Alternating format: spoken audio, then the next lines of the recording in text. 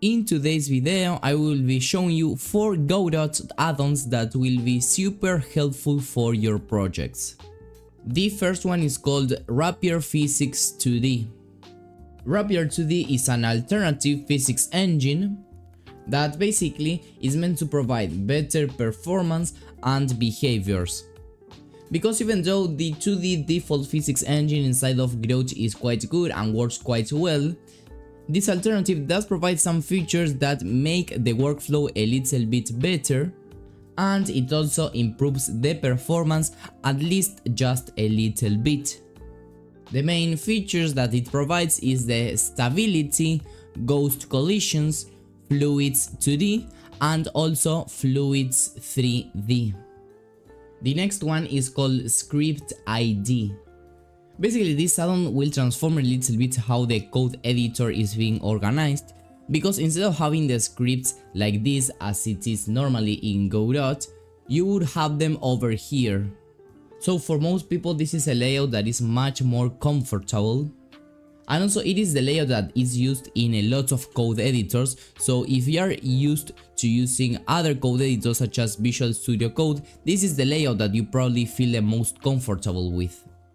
Not only that, but also on the right, you can see this other tab with the different functions that the uh, script has. So not only does it make the layout a little bit better, but also provides this new tab with all the functions there that make moving through the code much smoother.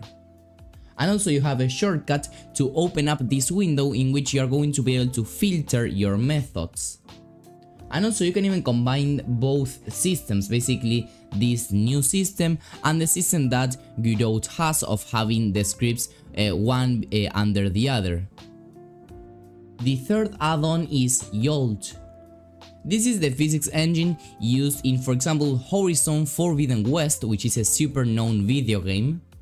This engine only works for 3D but well, it is amazing and is the best alternative and well the performance that it has if we compare it to Godot as you can see is uh, much much better so there is literally no reason for you not to be using Jolt as your new default 3D physics engine for Godot.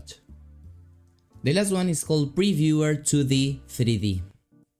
This plugin allows you to preview 2D or the 3D editor while editing on the other one. These videos quickly show how this works. So for example here uh, he's in the 3D environment, well now in the 2D and he previews it in the 3D uh, environment and the other way around now in 3D and he's seeing it uh, in 2D. Uh, well, this has some usages that could be quite interesting. For example, if you have a, a, project that uh, is 3D because it uses the 3D physics engine, for example, Jolt, but it is 2D rendered, okay? So this tool makes the workflow much much easier. So if you like any of these add-ons, make sure that you look for them in the Godot asset library and start using them on your projects right now. Subscribe to the channel for more similar content and I will see you in the next one. Bye bye.